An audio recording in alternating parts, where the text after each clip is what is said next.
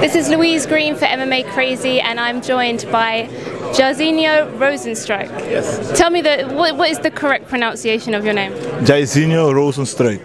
Okay, not too far, not too far.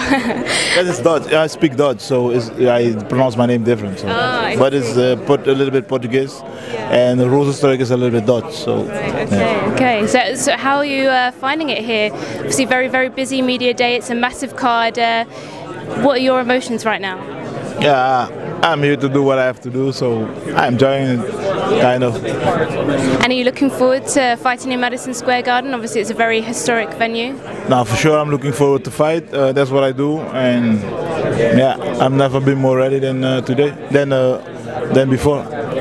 And you're taking on Andrei Arlovski, who obviously is a massive name in, in UFC and in, MMA in general. Obviously, he's been in the sport for such a long time. What did you think when they put his name forward to you?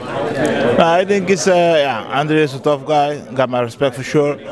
Um, he did a lot for the MMA, and yeah, I'm glad I get a fight against him. So I'm fighting a legendary guy, and yeah, on the end I have to win. That's the only thing that's counts for us. And um, like I said, obviously he's had a long career in MMA, but you obviously have a previous background in kickboxing. Um, so how has that kickboxing experience um, helped you to transition into MMA? Um, yeah, good so far.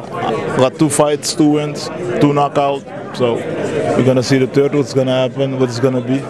I do a lot of things to fight. Uh, my camp means striking, grappling, all those stuff. So we're gonna see it the uh, second of November.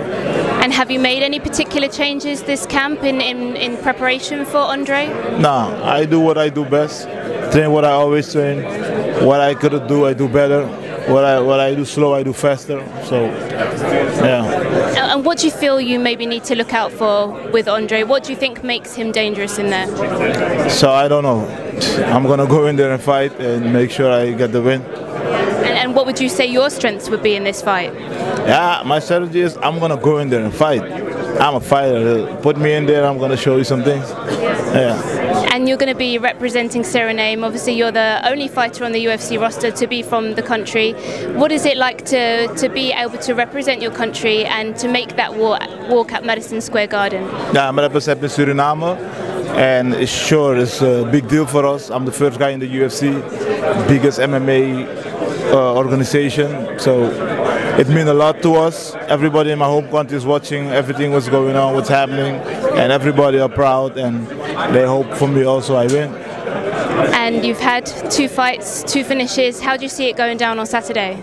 I don't know. I don't know if I'm gonna fight one second or I'm gonna fight five minutes, uh, five rounds, uh, three rounds of five minutes. We're gonna see it. Uh, what can the fans expect to see from you? What the fans can expect, uh, my best performance, a good performance as always. Right, well, we look forward to seeing it. Thank you very much. Thank you. Thanks.